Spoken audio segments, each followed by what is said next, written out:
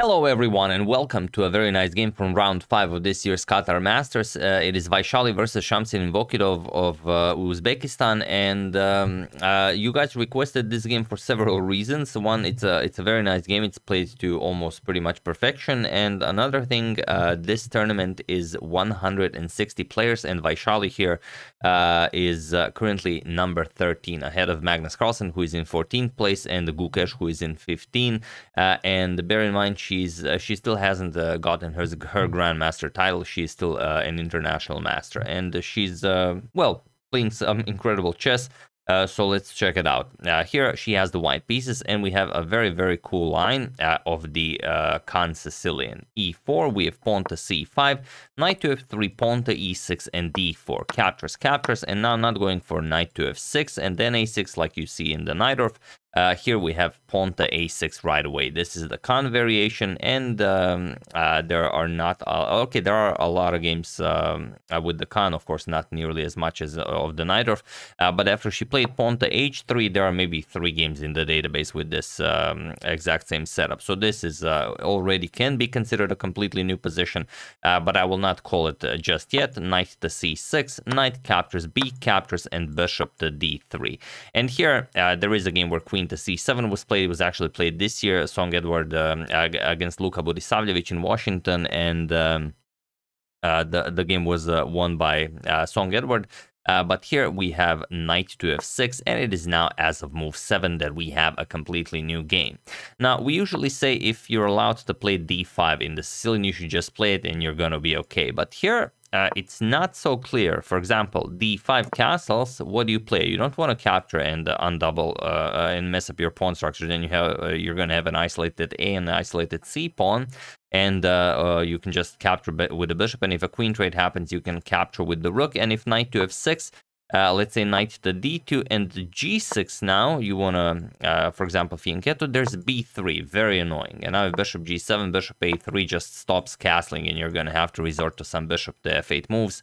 And it's not maybe uh, the best. So while d5 will be played and should be played maybe not uh, right away. So first we have knight to f6 going after the pawn here uh, castles and now pawn to d5. So playing it um, uh, after after uh, developing a piece, we have knight to d2, and now not going for g6 because of b3. We already said that this will be quite annoying for black. Bishop to e7. We have pawn to b3 castles and now bishop to b2. We have pawn to a5 trying to um, uh, mess up the uh, pawn structure on the queen side with pawn to a4 and Vaishali stops it by playing pawn to a4 herself. Uh, and uh, well, okay, uh, c5 maybe does look like a uh, move you want to play, but uh, it's not all that spectacular. For example, queen to e2, and after queen to c7, rook 8 to d1. And now, if you if you want, you can close the position with d4, but then you allow knight to c4, then maybe in the future e5, knight to d6, uh, and so on, maybe giving white a little bit too much. So instead, knight to d7, uh, this is a, a, a, great plan, because if you look at the position now, uh, Vaishali has uh, two incredible bishops here. I wouldn't call them monster bishops just just yet, uh, but once the light square bishop opens up, it's definitely going to be a bishop pair from hell, while the bishop on e7 and bishop on c8 uh, aren't doing all that much. So by playing knight to d7, you want to trade off your uh, dark square bishop for the dark square bishop on uh, b2 and also your light square bishop for the light square bishop on d3 so this will be the next step of Shamsiddin's plan.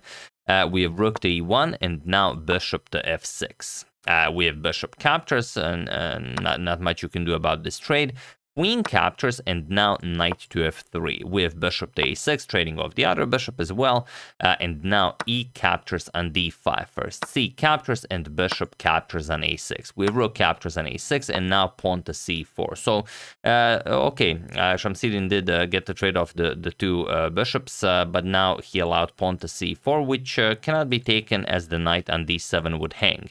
And uh, you you could play something, uh, maybe something like well, it, it, it's very hard to say. In the game, uh, Rook to D6 was played, um, uh, but the, the, the pawn still will not be able to capture on C4 as the Rook on D6 is also uh, hanging. It's not a, a, blunder or anything. You it can be played.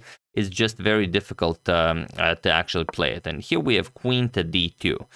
Uh, going after the a5 pawn. And now the way you want to play this is play rook to a8. You just defend the pawn, and now after rook 8 to d1, you bring the queen back, queen to d8, while your rook is nicely developed and defending the a5 pawn.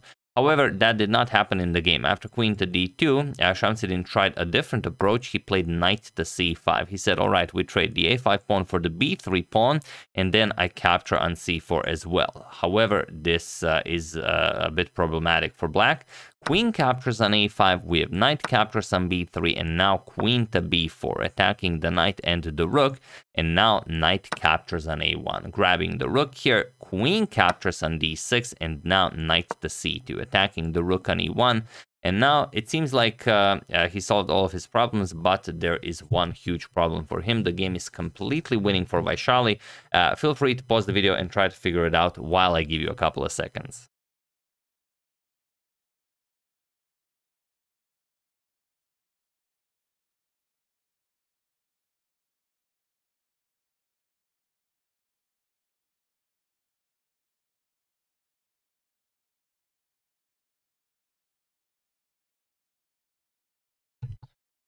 So, uh, for those of you who were able to do it, congratulations on uh, figuring out that black is completely busted. And for those of you who just want to enjoy the show, it is rook to b1. And now the problem is you cannot capture on c4. Just to give you an example, if d captures on c4, rook to b8, and that's it. There's no defense. Rook captures on b8 or queen captures on b8 is coming. If you trade, then just queen captures queen to d8 and queen captures on d8. Checkmate. So uh, uh, this is a huge problem for black. So of course uh, you have um, uh, you know, add more support to the back rank. So queen to d8 was played, offering a queen trade and keeping an eye on that b8 square. But now pawn to c5. This does give black a pass pawn, but also the white pass pawn is now, um, well, unstoppable. We have knight to a3 attacking the rook, now rook to b7. We have knight to c4 going after the queen, and just queen captures on d8. Rook captures and pawn to c6. The pawn is now unstoppable. If you, of course, try rook c8, then just c7 followed by rook to b8, that will not work. So in the game, king to f8 was played, and now pawn to c7, rook to c8, and rook to b8, going after the rook. So now you block knight to d6, uh, and now knight to d4. This is key. If you try a5, which seems like it should be winning, uh, also a king e7 unpins the rook, and now rook captures and c7 is possible. And if you trade here, rook captures knight, captures a6, the knight actually covers both a7 and c8 squares, so you will not be queening either of your pawns. So after knight d6, knight to d4, the only winning move, Vaishali plays it, and now uh, there's really not much to play for. Uh, king d7 was played, now knight to b5, attacking the defender of the rook on c8.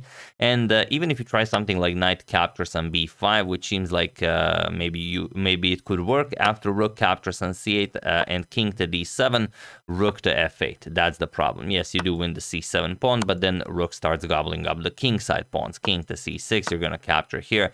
And yes, you can push the d4 pawn, but rook captures on a7. And if d3, king f1 easily stops the pawn. So not much to play for here. So after knight to b5, we have pawn to d4, uh, and now king to f1. Uh, the king now joins uh, the attack. You don't have to play it right away, but uh, you know you don't um, uh, waste time or anything. It's it's a useful move that will have to be played. So pawn to f6, and now pawn to a5. Uh, there's really not all that much you can try here. Uh, king to d7 was played, and now knight captures on d6, finally removing that uh, the defender of the rook here. Rook captures on c7. Uh, if you go for the knight, of course, the rook just hangs, so you can't play that. King captures on c7. Uh, also, just rook captures on c8. Um, uh, impossible. So rook captures on c7 was played, but now knight to b5, and he was in this position on move 35 that Shamsiddin Vokhidov resigned the game, as there is nothing more to be done here.